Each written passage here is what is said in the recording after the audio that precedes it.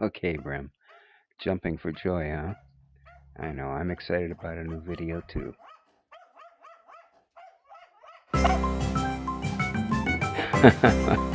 okay, Remy.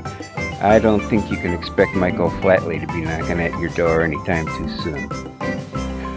Keep practicing.